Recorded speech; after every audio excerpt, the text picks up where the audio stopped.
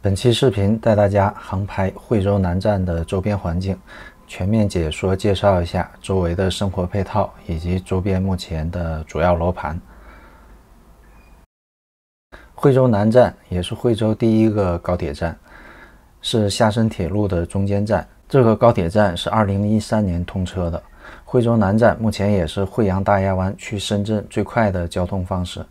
惠州南站到深圳的高铁票价大概二十元左右，运行时间半小时左右可以到深圳北站。目前惠州南站到深圳的车次还算是比较多，但是因为都是过路车，时间的间隔班次不太稳定，最短的时间间隔五分钟就有一班，长的时候有一小时。平均来看，大概半小时左右有一班车到深圳。从画面里我们也可以看到，惠州南站的规模不算大。惠州的高铁站以后的主力站是惠州北站，也因为这个原因，惠州南站在规划设计上有一点点问题，尤其是交通方面。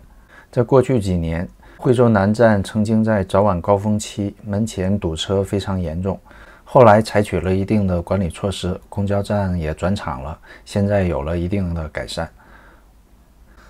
下面我们就从惠州南站先往西侧方向飞一下，这边楼盘比较多，看一下周边环境和整体分布情况，顺便介绍一下周边所有的楼盘以及各种生活配套的分布情况。首先从惠州南站这里开始，后边就是雅公顶森林公园，山那一面我们可以看到，其实就是大盘星河丹堤了。星河丹堤直线其实离惠州南站很近，但是过来要从山旁边绕过去。然后旁边这里有一个在建工地的小楼盘，是天柱春秋园。接下来再转过来，右边这个楼盘是厂园儿，然后在它旁边的白色楼盘是瑞景居。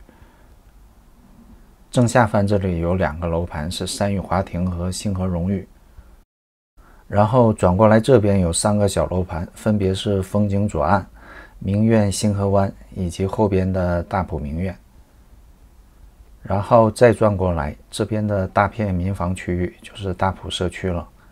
继续转过来，可以看到有大片空地，远处则是碧桂园南站新城，这边的远处就是新桥社区了。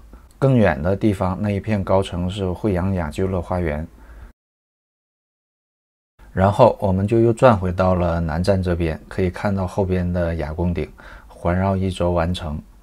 接下来我们继续转，由南站向西西侧这边飞一下。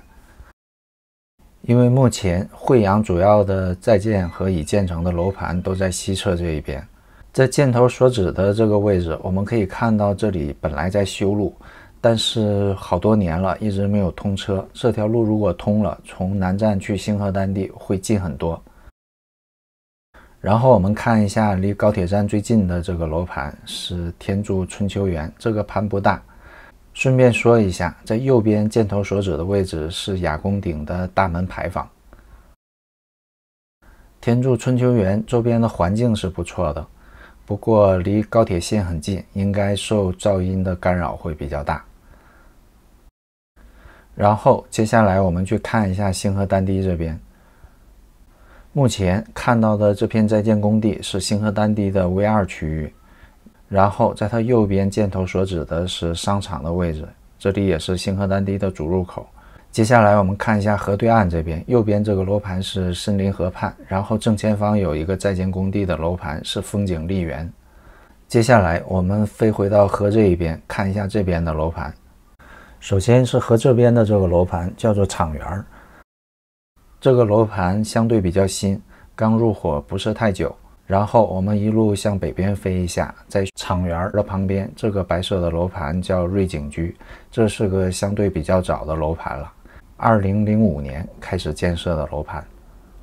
然后在瑞景居的旁边，这边有两个楼盘，一个是山语华庭，左边的这个，然后右边的这个红色的楼盘是星河荣誉。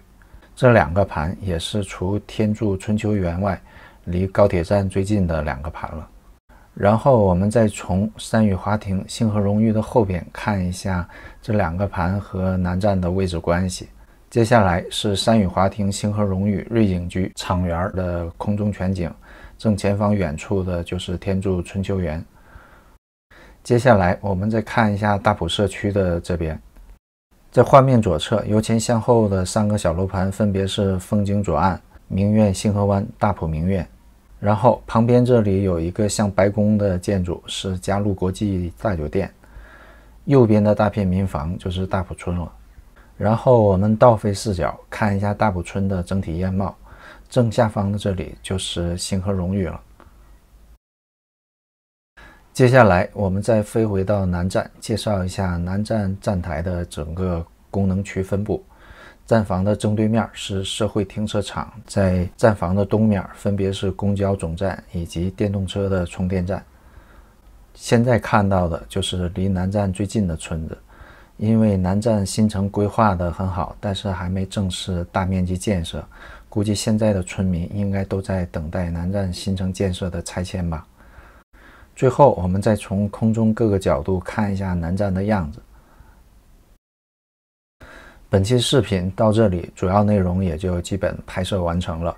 如果您都能看到这儿了，就帮忙点个赞吧。好，非常感谢您观看本期视频，欢迎转发、评论、关注作者，谢谢大家。